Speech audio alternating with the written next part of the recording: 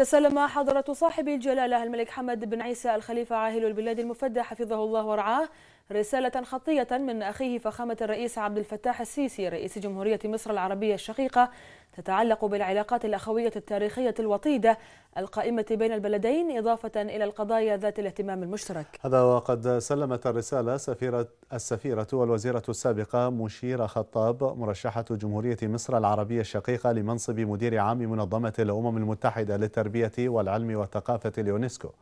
خلال استقبال جلالته لها بقصر الصقير هذا اليوم حيث بدأت أولى جولتها للترشح لهذا المنصب بزيارة مملكة البحرين. كما نقلت لجلالته تحيات أخيه فخامة الرئيس المصري وتمنياته لجلالته بموفور الصحة والسعادة ولمملكة البحرين المزيد من التقدم والنماء. فيما كلفها جلالته بنقل تحياته لأخيه فخامة الرئيس عبد الفتاح السيسي وتمنياته للشعب المصري الشقيق بدوام الازدهار. وقد رحب جلالة الملك المفدى بالدكتورة مشيرة خطاب منوها جلالته بعمق العلاقات الأخوية التاريخية بين البلدين الشقيقين وما تتمتع به مصر من ثقل تاريخي وحضاري عريق وأسهامات بارزة في الحضارة الإنسانية ومكانتها ودورها الريادي في النهوض بالحركة العلمية والثقافية.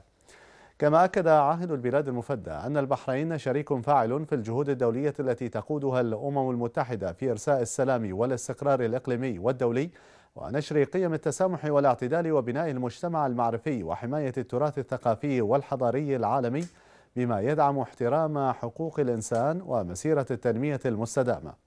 مؤكدا جلالته أن البحرين حريصة على تدعيم جهود منظمة اليونسكو وأنشطتها الإنسانية انطلاقا من تاريخها الحضاري العريق القائم على التعايش السلمي والانفتاح بين الثقافات والحضارات وتمسكها بقيم العدل والتسامح وحماية الدول للتراث العربي والإسلامي والمساهمة في ركب الحضارة الإنسانية. وأشار عاهل البلاد المفدى إلى اعتزاز المملكة بشراكتها المتميزة والفاعلة مع اليونسكو باستضافة المركز الإقليمي لتكنولوجيا المعلومات والاتصال والمركز الإقليمي العربي للتراث العالمي. وتقديم جائزة اليونسكو الملك حمد بن عيسى الخليفة لاستخدامات تكنولوجيا المعلومات والاتصال في مجال التعليم منذ عام 2005 من جانبها عربت الدكتورة مشيرة خطاب عن شكرها وتقديرها لصاحب الجلالة. الملك المفدى على دعمه وحرصه لتعزيز العلاقات الوطيدة القائمة بين مملكة البحرين وجمهورية مصر العربية. متمنية للبحرين دوام التقدم والازدهار تحت القيادة الحكيمة لجلالة الملك المفدى. حفظه الله.